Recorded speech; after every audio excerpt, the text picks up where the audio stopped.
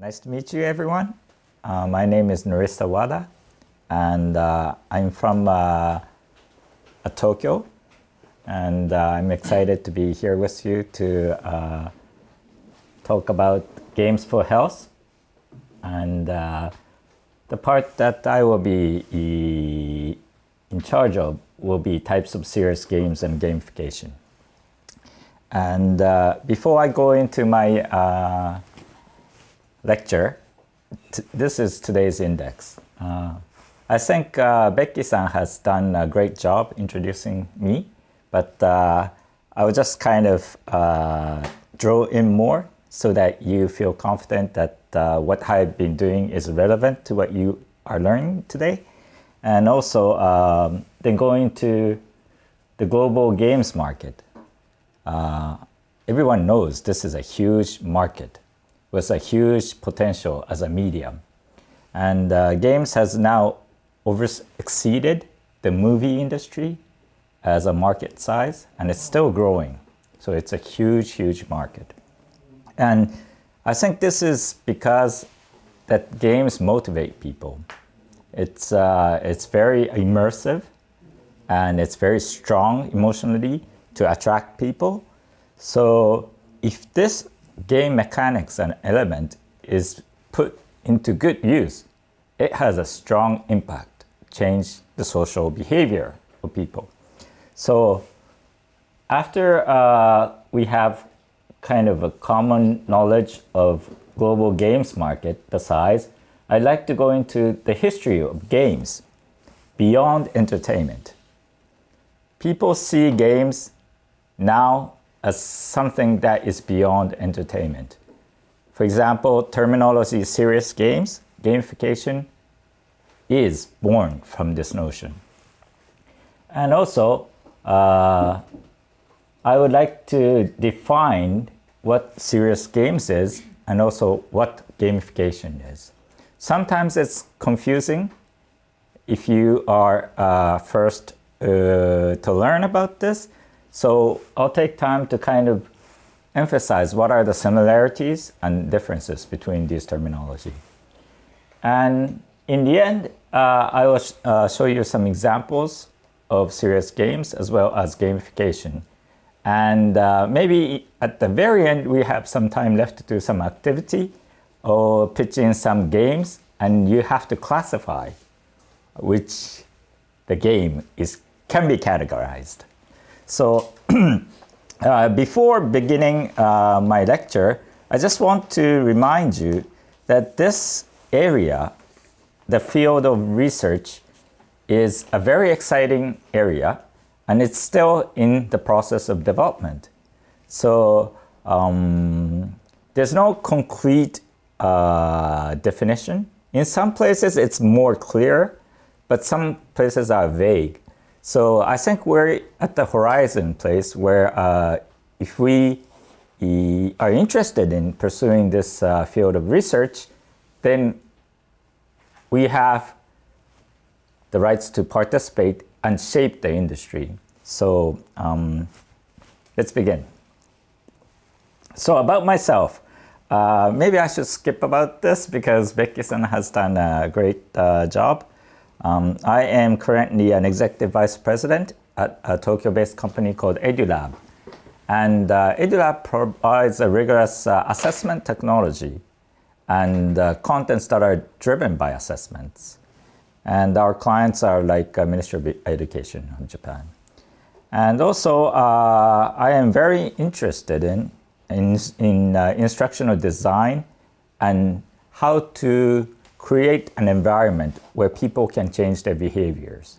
That's my personal uh, interest.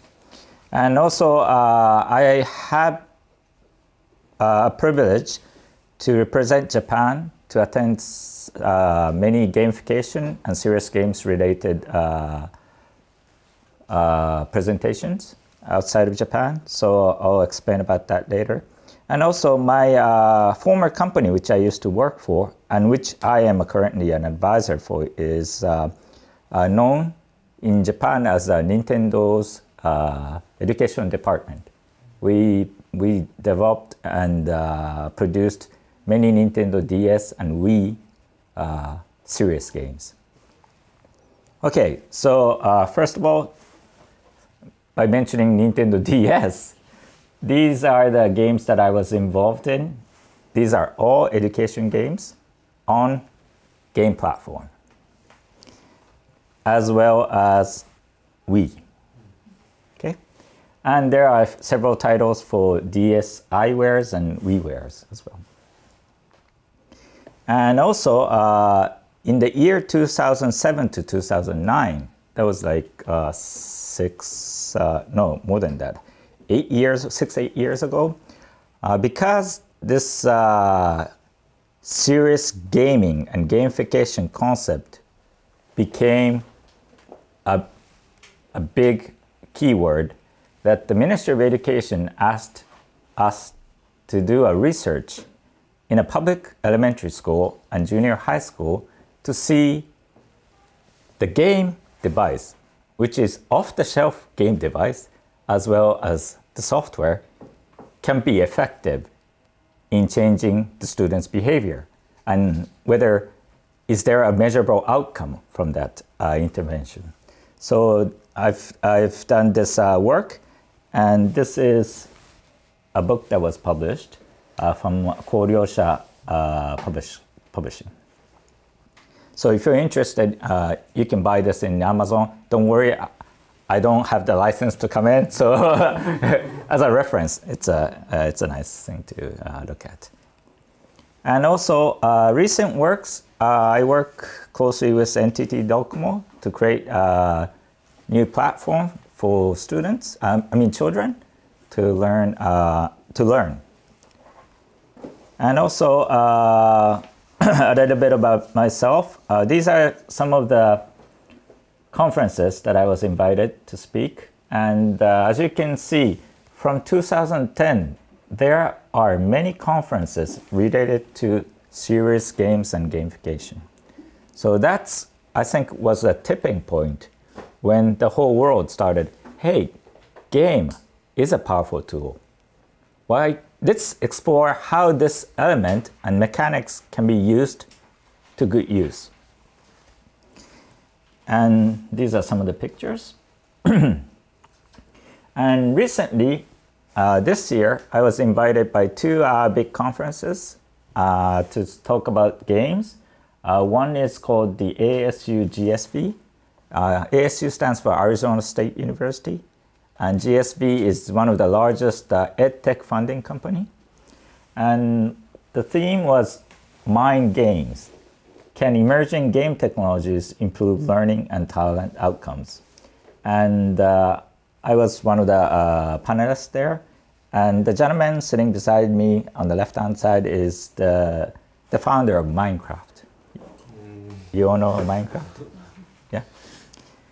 Okay. And also, I was invited for uh, EdTech Israel uh, to talk about uh, STEM and engagement. What can we do better? So, uh, my topic was how to engage people to change their behavior. And also, sometimes uh, behavior change does not last.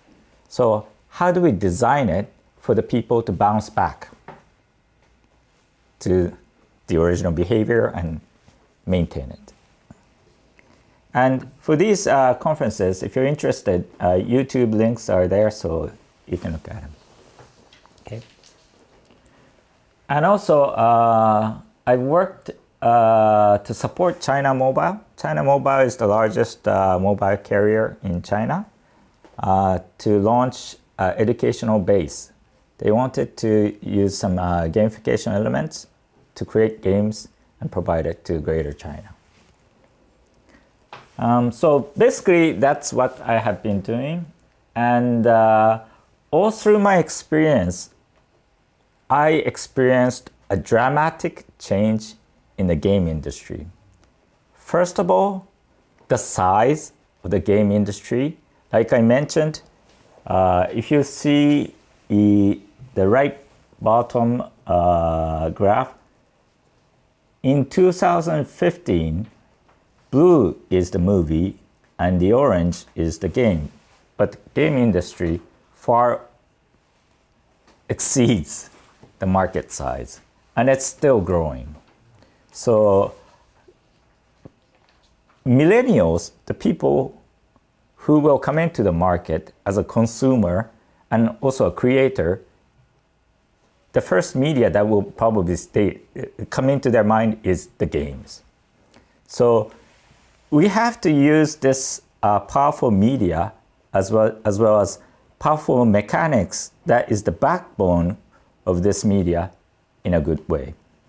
So uh, I know students here are from all over the place, and if you're interested, uh, on the right hand top part, it shows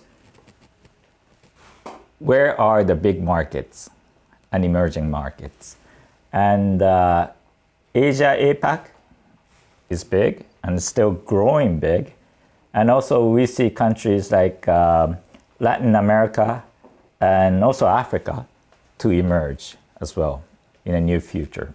So the market is growing, but the capability and the capacity, potential capacity, is still bigger. So uh, probably uh, game industry will get bigger and bigger and bigger. So uh, with this uh, large market and the power of game design and game mechanics, I like to talk about the history of games beyond entertainment. So market increase and also another important change is how people see games. This is very important. For example, uh, in old days, entertainment education usually refer, referred to as like edutainment and Sesame Street is one of the you know uh, known edutainment field, and gaming and simulation did not mix together.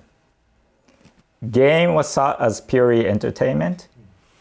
Edutainment, although it has some entertainment word attached, but still education. Nothing really, really intersected or mixed. But we start seeing in the early 2000s that off-the-shelf games that were created as an education software to be used outside of games. Hey, we're using Nintendo DS, which is the off-the-shelf game device, but we're using this in a public school environment as an education tool. So this is where it really started intersecting and where academic research really came in. So if you look at the year that Nintendo DS came into the market, that's 2004. And Nintendo Wii came into the market in 2006. And uh, first Serious Games Summit was held in the same year, 2004. And also, uh, with that first summit, serious games terms came into the market strongly. And uh, 2004, I think, is a tipping point for this serious games and gamification trend. Because before 2004, fun and entertainment in education, but not on game machines or using game design elements. But after serious games uh, terminology came in to the market in the year 2004, now we see games and game design elements starting to be used in serious domains, first in education, then in healthcare, then it goes to advertisement, and now we see that everywhere. Okay, so uh, today I'll drill into the terms of serious games and gamification. And under these serious games and gamification, there are several types. how do we classify them? Where is the new type coming from? So these are the things that I'd like to uh, talk later in my lecture today. So again, just to reinforce what I just mentioned here, two big changes. Game market really, really growing big, as well as notion of people about games is changing dramatically. This is a very good uh, example, which my uh, friend Professor Toru Fujimoto from uh, Tokyo University. By the way, he will be here in uh, in about maybe next week. Yes. yes. Yeah. Sorry. Anyway, this is uh, a good uh, illustration of the people's notion change. It's the same publisher, NHK Publishing. In year 2002, they published a book saying, uh, sorry, this is in Japanese, saying games damage your brain. Okay? Same publisher in 2012, 10 years later, if you use game mechanics, game elements, everything goes well. right, big change, right? Same publisher. Uh, no offense, okay? it, it, it shows how our society have changed about the perception of games because they started to understand elements and the mechanics. That's not something to blame for. It's a powerful tool. Why don't we use it and design it in a better way? Again, the government starts thinking. I mentioned that from 2007 to 2009, Ministry of Education started thinking, hey, this is a potential area of academic field which they should drill in. And same thing, uh, President Obama, he had a national STEM video game challenge as well as uh, Games for Impact Consortium. And it all started with his very epic speech on March 2011. He said, I'm calling for investments in educational technology that will help create educational software that's as compelling as the best video game. Video games, let's just take out the video. Games are very powerful, very powerful vehicle so I want you guys to be stuck on a video game that's teaching you something other than just blowing something up. And games are not just about teaching, right? It's immersive, so people may not think they're taught, but in the end can change their behavior. And also, this is uh, uh, the Japanese government, Ministry of Defense. Uh, Ministry of Defense Japan has launched a serious games research project in year 2013, hoping to attract and recruit talented young candidates who will in the future work in the cybersecurity team. So our next generation, millennials, games are the number one media, right? So serious games and gamification, is that really something new? I think everybody knows this game, right? Monopoly. It's a it's a old old old old old games. Uh, in 1904, designed by Elizabeth Magie. Actually, I didn't know that, but uh, we still see today new versions come out, and basically through this game, we learn many things about owning a land and some uh, economical elements. But this is a good example where we're using the off-the-shelf games, but maybe in an education way. And also, another example, does everyone know War Games movie? This is quite an old movie. That's when um, um, still, uh, Russia was a Soviet Union. Okay, and uh, this uh, gentleman hacks into the U.S. defense uh, military computer, and he starts playing a chess with that artificial intelligence. Oh, actually, uh, a chess, right? And um, then this artificial intelligence starts thinking they are at war. So it starts kind of taking over the system and try to launch a nuclear missile to the Soviet Union. And how does he stop this? Is by using games. He used tic-tac-toe to teach the artificial intelligence. Because if you play it right, there's no winning, right? If the others know how to play, and if you know how to play, no one wins. So in the end, artificial intelligence ran the game over and over and over and said, hey, guess what? By launching a nuclear missile, no one's going to win. So this is another uh, example using games in a good way. And also, uh, usually if you talk about serious games, uh, Oregon Trail is, uh, is known to be the classic of serious games.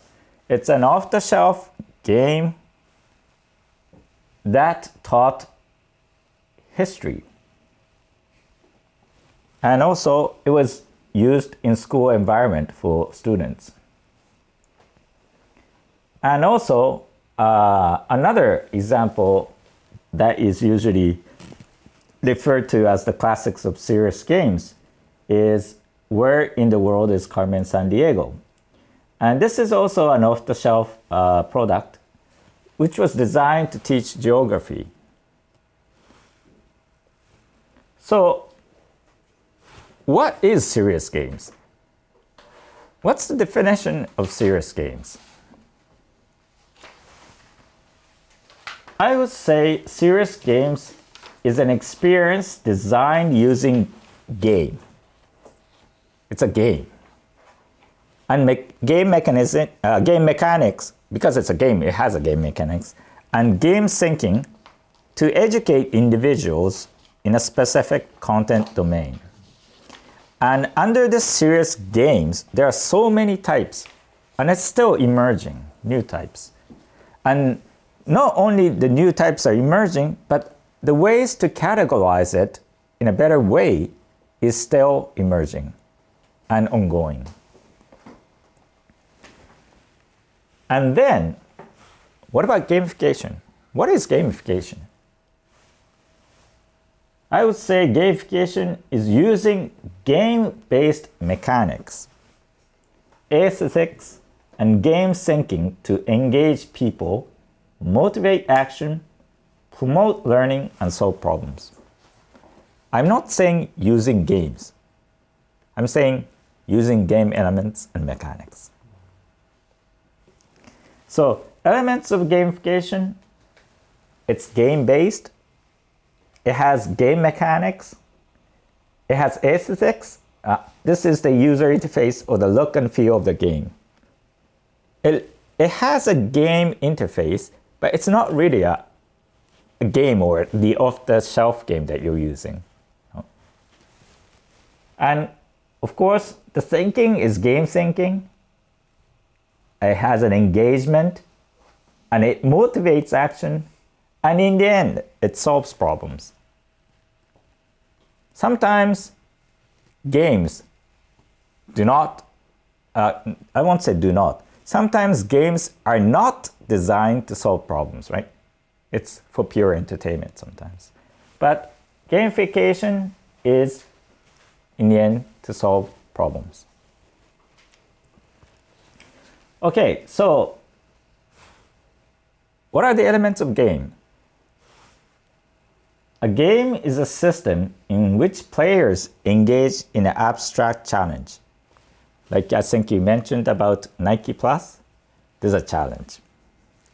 And defined by rules, there's a rule. And interactivity You do something, you input something, you have a result, instant result, and the feedback. And that eventually results in a quantifiable outcome, often eliciting an emotional reaction. You might get a star, you might get a badge, or you might blow up.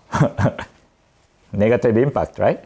But in the end, you have something as a feedback, and from that feedback, your emotion is derived. Uh, system, players, abstract, challenge, rules, interactivity, feedback, quantifiable outcome, emotional reaction. These are the elements of games. So, gamification. Gamification is not using games, but using game mechanics and game elements found in pedometer. Let's look at the pedometer. Ma, I won't say Nike Plus as a pedometer, but uh, it has some aspects, right? It's not a game, but it has a game elements. And another impact is the Nintendo DS personal trainer walking. This is a little bit confusing because when you say Nintendo DS, hey, it's a game, right? Off the shelf game. But it is also a gamification approach where you use a pedometer and use a gamification approach with the game mechanics and game elements, but happens to be in a game category and sold through a game channel. Again, uh, everyone knows Ingress, right? Pokemon Go. That's behind Pokemon Go, but um, it's about uh, uh, visiting locations. When you play, and it, if you go to a certain location, then you occupy that location. But sometimes, if you don't go there often, other people will occupy that location. So it's like, you know, taking lands. And um, this is a mobile game. But if this game elements and game mechanics put into good use through gamification, this is something that comes out. Adopt a hydrant. Um, this is in uh, North America. When, when it snows, the hydrant is covered by snow. So you want someone, a volunteer, to shovel that out. So what they did was they used a same game element and mechanics and applied it as a gamification technique in a good use. So if you go there, you shovel it, then you get a point for that.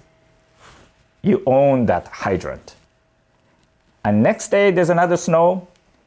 If someone beats you and someone else shovels that, it's his now. You know. But if you're in the game mechanics and motivated, it's a sustainable environment. So, uh, we've looked through uh, serious games and gamification and the definition. So, what are the differences? So, the blue circle is the game element, and serious games is using games actually. And gamification is taking the game element and applying that through game mechanics into real life environment. Doesn't necessarily have to use games. So serious games, of course, the media would be games. And gamification, game design, which are not just games. And goal for serious games is for good purpose and intention. Pure games sometimes are designed to just have entertainment, but serious games use games in a good purpose and intention. And for gamification, make user engaged and motivated through game elements and mechanics. That's the goal. Strongly influenced trend for serious games is mostly elements of game design. If the game design, if, if a new game design element emerges, then that's the most impactful to serious games. But for gamification, uh, most impact, impactful trend that we see today is the social aspect. For example, uh, Nike Plus, when you're running, you get badges through a social crowd who you don't even know, right? And you get motivated. And this is, a, uh, this is another area that uh, impacts gamification. And also, uh, this is another chart that explains the differences and the positioning of each terminology. Serious games, using or developing games for serious purposes. Gamification, using game design in media, doesn't necessarily have to be game or activity. And there's another terminology, game next, but I won't uh, go into detail here because I don't want to confuse you. So now you start getting the concrete uh, picture, maybe a little vague, but I want to just confirm. This is a model from Andreas Marczewski about defining or classifying games and serious games or the simulation or the gamification or the game for design game next into a table chart. I'll just give you an answer, okay? I usually do a workshop, but uh, since we're being filmed, okay? Okay, I'm being, I'm being generous to all of you. Okay, so game for design and game next is about game thinking. Okay? It could be for pure entertainment. And gamification is using game thinking and game elements. Doesn't have to be on a game platform or game device. Serious games and simulation using game thinking and game elements into a gameplay. But for good purposes. For game, game thinking, game elements, gameplay, and just for pure entertainment. So this is something that uh, is easy to kind of understand. And also, you can define and categorize through gameplay and no gameplay and fun and purpose. Okay, so if the purpose is for good use with a gameplay design, serious games. No gameplay. You're not using games. No game no gameplay means you're not using games. But using game thinking and game elements to a good purpose. Oops, sorry. That's gamification. Oops, sorry. And if you're using gameplay for pure fun, that's games. And no gameplay, you're not using games, but just for fun, you're using game for design and game mechanics. That's it. Okay? So this is where it all falls into. I have a question. Oh, sure.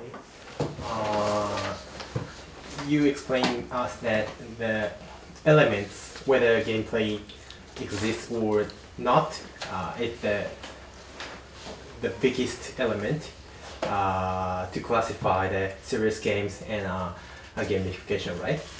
And you the the examples you you presented is always uh, using using some kinds of apps or mobile uh, hardware such as 3ds or so on.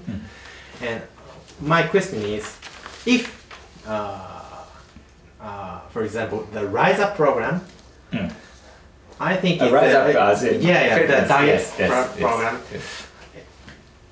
that is contains many of the gamification elements. Yes. But it's the the program always uh, do not we we do not need the hardware or mobile phone or some kinds of app.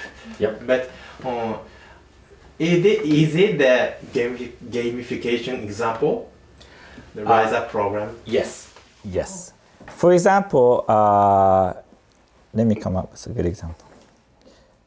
For example, there is like a reading marathon where you have to read a lot of books. Then, uh, like five books you've read, then you get a stamp for that.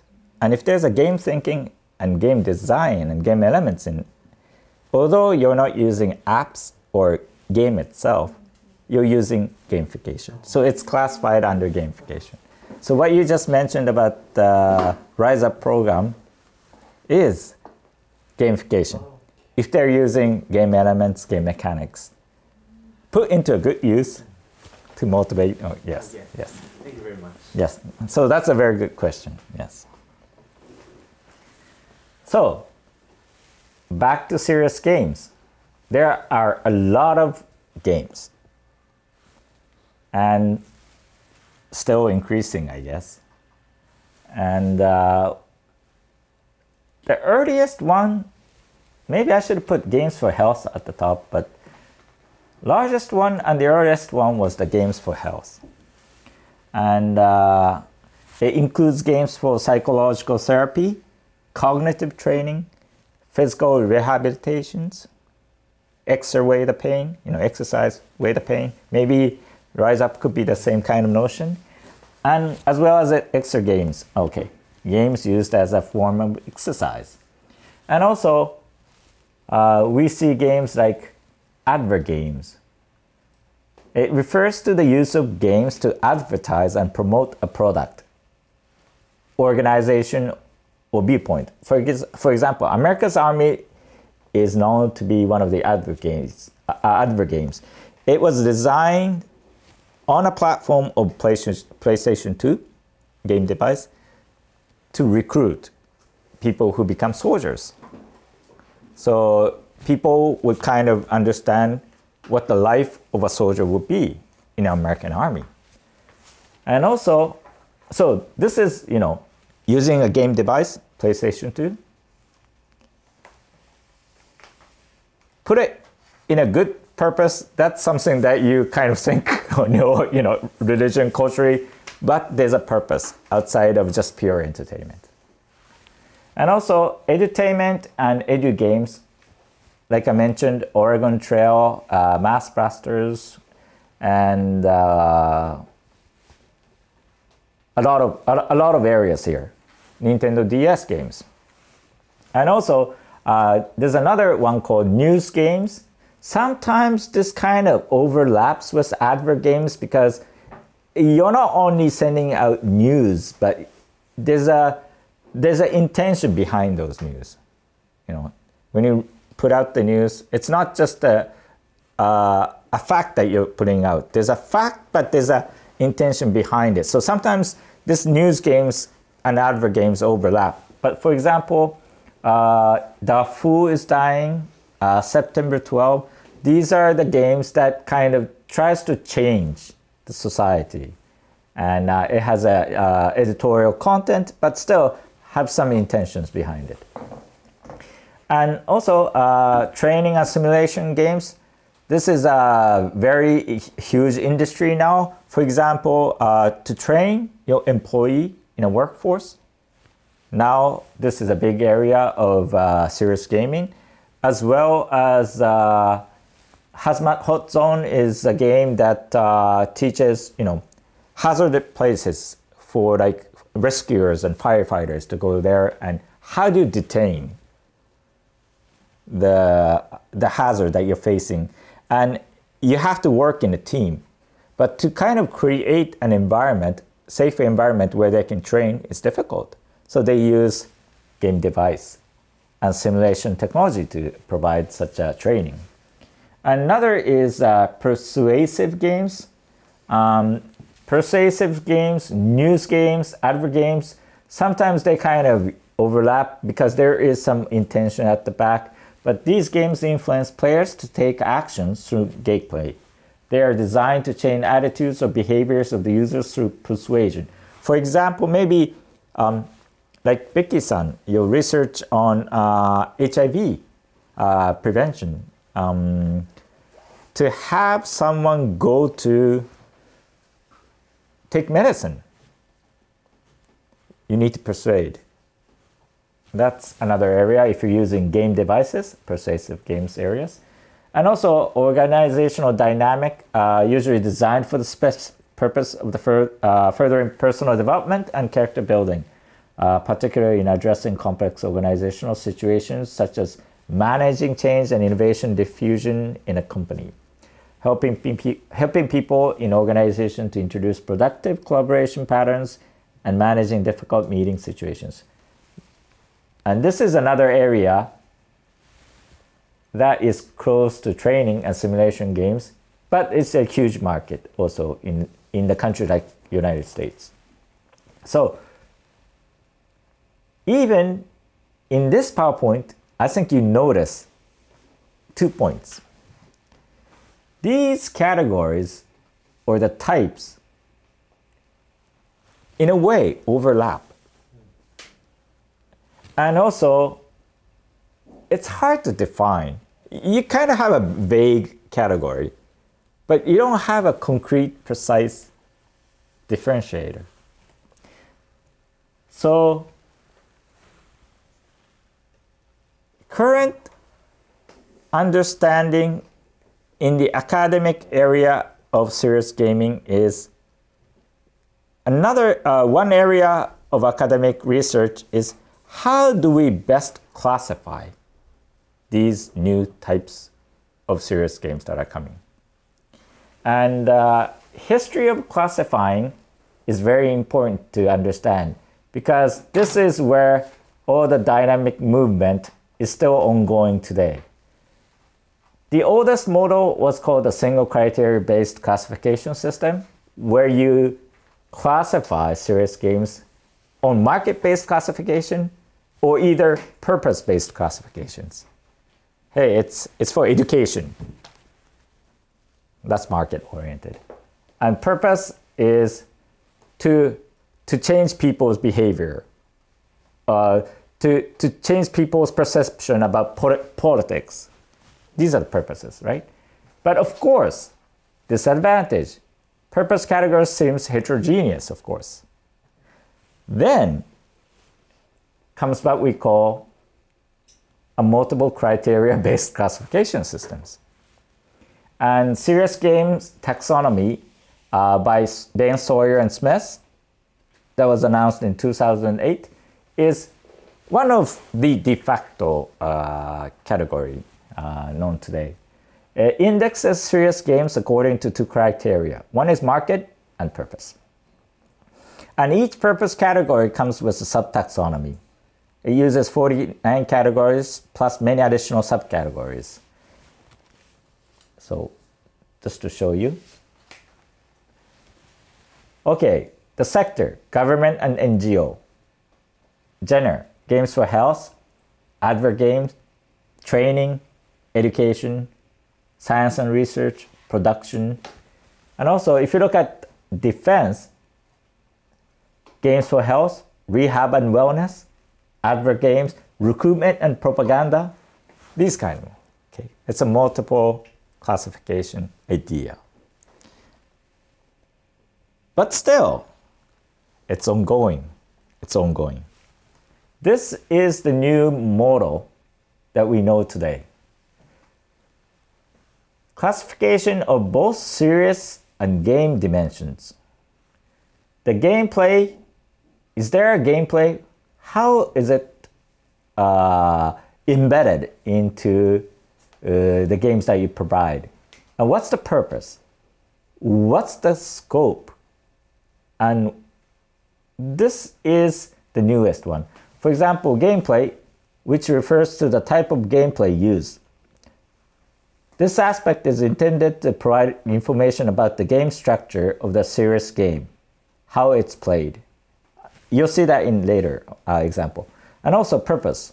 Purpose is the same from the uh, single classification as well as multi-type classification.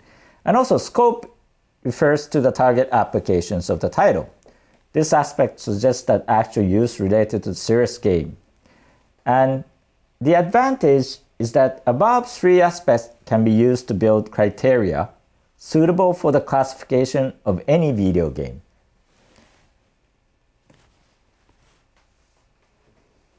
So this is GPS model. Gameplay, purpose, and scope. Okay? Don't worry, you don't have to remember this. Let's try classifying this game under GPS model. It's called Stop Disasters game, okay? It's about natural disaster prevention and uh, it's released by the United Nations. And this game enables players to take control of several villages that are facing imminent disaster, such as tsunami, giant fire, or an earthquake. Just jump into the GPS model, okay? Okay, let's look at the gameplay. Obviously, it's game-based. And the purpose, it's educative and informative. It's, a, it's about message broadcasting. I didn't put in training, but it could be a mental training to have a trainee be ready for these kind of. And also, if you look at the scope, it's about the contingency. What happens after earthquake and tsunami? We might have an epidemic, so health scare. Also, you have to bring back the, uh, the environment. It's about ecology and humanitarian support. So you can fit into GPS. And one uh, advantage about this GPS model is that it's more descriptive. For the people who wants to know what this game is, to understand and better use it in an intention that was designed for. It's more descriptive. It gives more information. And also, this is another uh, a game, Hazmat Zone, Hot Zone. As you can see, they're using computers, but it's a game. And uh, these uh, firefighters are using for uh, simulating the rescue, uh, many, many uh, hazardous rescue environment let's classify this uh, under GPS. Obviously, it's game-based, playing games using game environment. Purpose, educative and informative. It doesn't require physical training, but mental, maybe. And because it's played with multi uh, people, multiplay. It, it has a data exchange aspect, and the scope is for the state and government and public professionals like firefighters. So again, GPS model is very descriptive. If you are a firefighter from your country and you're looking for a game serious game that will help you. How do you find it? if the classification is more precise and more efficient, then a better chance of you meeting that software, right? So this is another uh, example about the GPS uh, model. So again, um, I, I want to just uh, wrap up. Uh, this is today's index. I just erased my uh, experience and recent works, but we looked through a global market of games. Two big change, the market size, it's growing, huge growing rate with more capacity because there are many, many emerging countries. And our consumers are millennials that think, what's your best known media for you? Games. Okay? And also, history, uh, oh, and also about global games market, there's a second big change, the notion, the perception of games. From, you know, it, it damages your brain to you can solve everything. And history of games beyond entertainment, it was from for pure entertainment to start understanding the mechanics and elements of the games and people started to think to use that element and mechanics into a good use outside of games, so beyond entertainment. And now, serious games and gamification. Serious games is using games. It doesn't have to be apps. Uh, sorry, serious game has to be games. Mm-hmm. And uh, in a good way. And gamification doesn't necessarily have to be apps or using off the shelf games, but using game mechanics and elements into good use. And the differences and similarities I've explained, and also the types of serious game and how to classify this. And the intention of classifying serious games is because if you are a creator of a certain game, then you want this to be used in the right way. Then better the descriptive it is. So, my final message to you all is that area of serious games and gamification is still ongoing field of research where we find new ways of classification and type emerging. It is a dynamic area which holds many potential.